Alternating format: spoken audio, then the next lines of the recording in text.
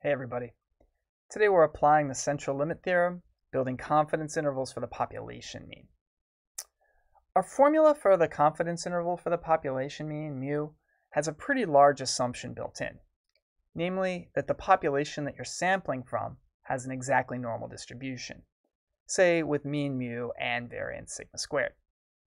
Often, however, that's not a reasonable assumption. For instance, suppose we want to know the average length of calls from a phone bank. The distribution of calls from a phone bank is almost certainly not going to be normal. You're going to have many calls that are going to be short, a few that are very long, and certainly no calls that have negative durations. It's a lot more likely that the histogram of calls from this call bank, um, from this phone bank, it's going to look more like this than like a bell curve. However, we're still able to construct a confidence interval for the population mean mu, the average length of all calls from that call center, using the central limit theorem. The central limit theorem says, roughly, that as long as n is somewhat large, generally n greater than or equal to 30 is enough, then the sampling distribution of the sample mean is always going to be approximately normally distributed, even if the, even if the population that you're sampling from is not. So you should be imagining going out and getting samples of size n repeatedly.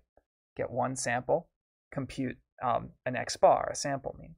Do it again, get another x bar. Do it again, get another x bar. Once you've got a whole lot of x bars, make a histogram out of those values.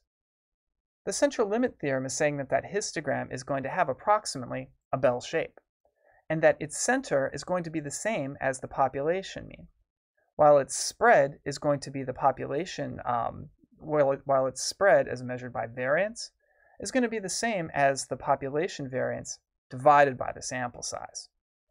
Um, roughly speaking, the sampling distribution of x bar is going to be approximately normal with the same mean as the population, but less spread.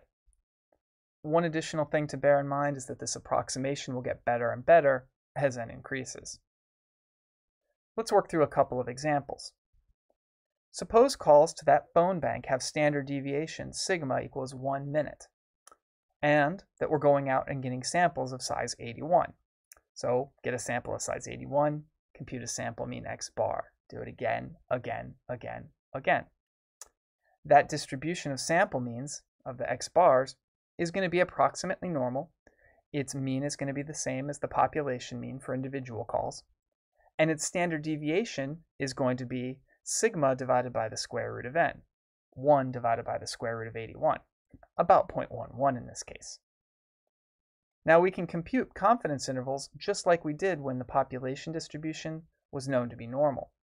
We just have to recognize that now our confidence intervals are only approximate. So suppose we go out and get a sample of size 81, finding a sample mean of 1.1 minutes. That was the sample mean in that um, histogram I showed a few slides ago, by the way. And let's construct a 95% confidence interval for the population mean using this information. So here's the formula for the population mean um, confidence interval. In this case, again, it's only going to be approximate. Mu is about equal to x bar plus or minus z star sigma over the square root of n. Here, z star is the critical z value corresponding to the level of confidence, 95%. Now we just plug in values.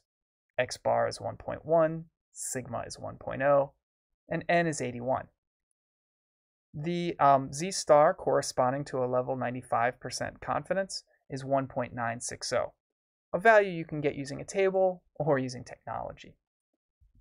Simplifying this down a little bit, we get that the population mean mu is going to be about 1.1 plus or minus 0.22 minutes with 90, 95% confidence. One more example. A large corporation employs thousands of clerks at retail stores nationwide. In a sample of size 35, the mean number of hours worked per week was 23. Construct a level 90% confidence interval for the mean number of hours worked by all clerks per week, um, all clerks employed by this corporation. Assume sigma equals 5, the standard deviation for the number of hours worked per week by clerks at this corporation. We're going to use the same formula for the confidence interval, mu is approximately equal to x bar plus or minus z star sigma over the square root of n. This is going to be approximate because we're not told anything about the shape of the distribution of the hours worked per week by employees. Could be symmetric in bell shape, or it could be highly asymmetric. Now we plug in numbers. x bar is 23, sigma is 5, and n is 35. The z star corresponding to a 90% confidence level is 1.645. When I do out this arithmetic, I get that mu is about equal to 23 plus or minus 1.4 hours with 90% confidence.